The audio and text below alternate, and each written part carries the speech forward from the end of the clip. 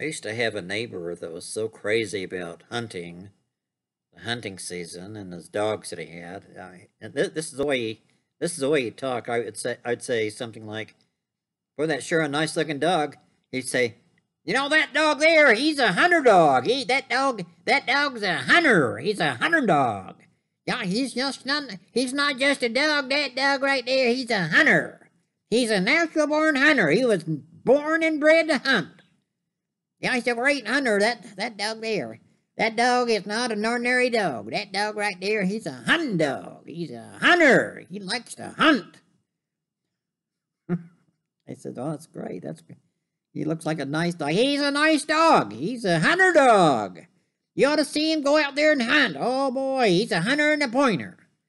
He's a pointing dog, too. He's a hunter and a pointer. He sure is. Boy, oh, boy, oh, boy. He's a hunter dog. If he... If I ever seen a hunter dog, that's a hunter dog. He's not just a regular dog. No, he's not a normal dog. He's a hunting dog. He likes to hunt. He likes to hunt, and I like to hunt. We go out there and hunt together because he's a hunter dog. He's nothing but a born hunter. He likes to hunt.